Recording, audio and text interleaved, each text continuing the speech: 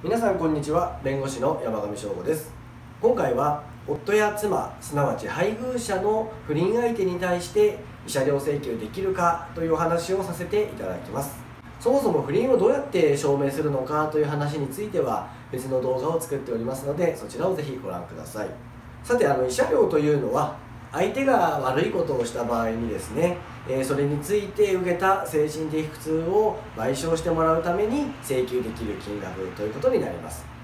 なので、まあ、要するに相手がですね配偶者の他に不倫相手もいるわけですから両方に請求できるということが原則になります。これは専門用語で共同不法行為という言い方をするんですが、まあ、要するに共同で悪いことをされたということになります。でこの場合ですね配偶者の方と不倫相手はですね連帯債務っていうのを負うことになります。この連帯債務というのは具体的に何かというとですね例えばあの金額については後で申し上げますけれども慰謝料の金額がですね200万円だとした場合配偶者の方に対して200万円請求できるしまたは不倫相手の方に200万円請求できる、え例えば、え配偶者の方に100万円不倫相手に100万円配偶者の方に50万円不倫相手に150万円どんなやり方でもいいんですけど合計200万円を請求できるというような考え方。これが連帯債務ということになります。ですのであの不倫相手だけに全額請求したいとか不倫相手だけに請求したいという方もおられます。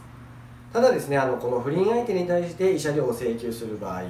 え、例外として請求できない場合というのがいくつかありまして、え、大きいものではこの2つですね。1つは婚姻関係が破綻した後、まあこの配偶者の方と不倫相手が交際を始めたというような場合ですね。この自分と配偶者の方の婚姻関係がもう仲悪くなってですね全然夫婦と言えないような状況にあった場合その後でその後になって配偶者の方と不倫相手が交際したような場合には婚姻関係破綻後ということで慰謝料の請求はできないということになります。でもう一つは過失なく知らなかったということなんですけどこの不倫相手の人がですね配偶者の人とこう交際するにあたって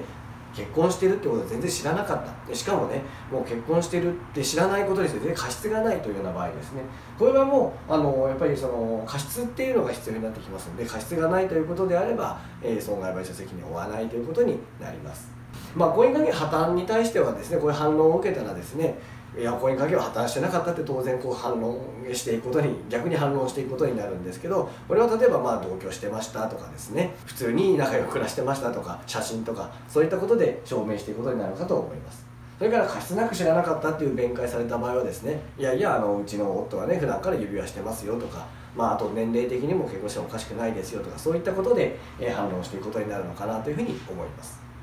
そして次には金額なんですけれども配偶者の方が不倫をして裁判所が認める慰謝料の金額というのは200万円から300万円ということが多いかと思われます。